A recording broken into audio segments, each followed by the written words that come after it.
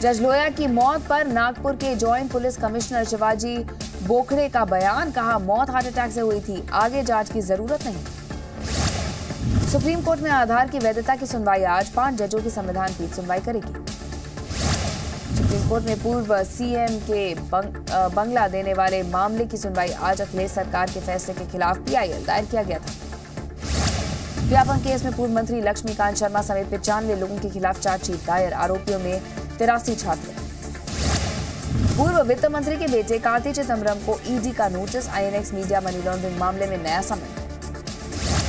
कर्नाटक के सीएम सिद्धरमैया का विवादित बयान, कहा चुनाव युद्ध की तरह है, Congress Pandav, BJP Kaurav. BA BCom जैसे नॉन टेक्निकल कोर्सेज में ऑनलाइन पढ़ाई को मंजूरी, परीक्षा भी ऑनलाइन होगी। जोधपुर में रक्षा मंत्री निर्मला सीतारमण सुखोई में उड़ान भरेंगी आज, वायुसेना की ताकत का जायजा भी लेंगी। डोर स्टेप डिलीवरी स्कीम को एलजी की हरी झंडी केजरीवाल ने कहा शुक्रिया। इसरो ने कार्टोसैट टू से पहली तस्वीर जारी की। इंदौर का होलकर स्टेडियम दिखाई दे रहा है।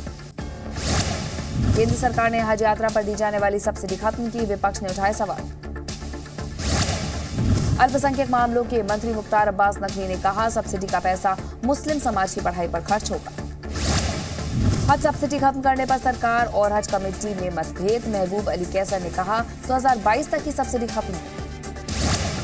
हज कमेटी के चेयरमैन महबूब अली कैसर ने नकवी पर धोखा देने का आरोप लगाया। 20 जनवरी को हज कमेटी की बैठक।